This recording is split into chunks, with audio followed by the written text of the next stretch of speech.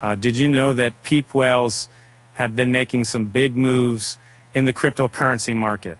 Uh, in the last day alone, there have been two significant transactions involving uh, these meme coin giants. Um, these whales are known for their ability to influence the market with their massive transfers.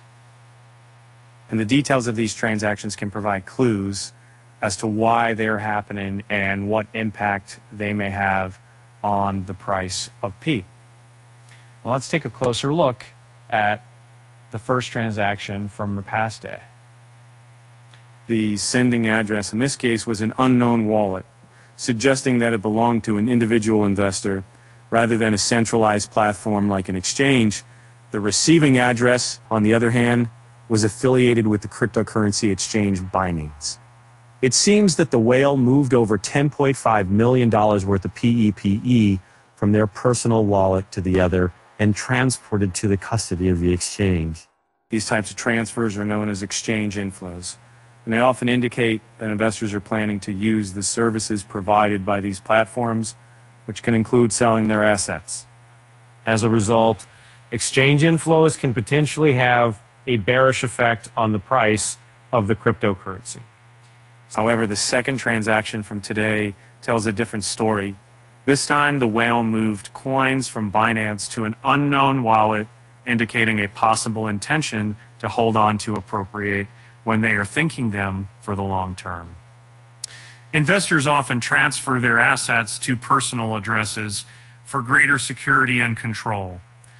This move could potentially be seen as a, interestingly, the amount involved in this second transaction um, is, is similar to the first one, leading to speculation that it might be the same whale behind both moves.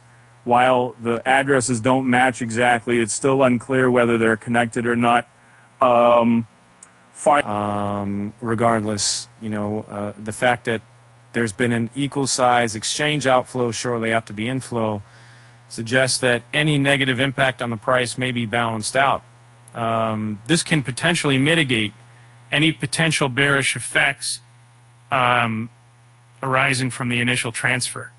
In terms of price, PEPE is currently trading around point million dollars, seven zero zero million dollars, eight four four five four seven nine, showing a positive trend with a more than 21% increase over the past week. And now, for a short joke about PEPE, why why did the cryptocurrency cross the road? To reach the blockchain, of course. Uh, with that said, thanks for reading, and until next time,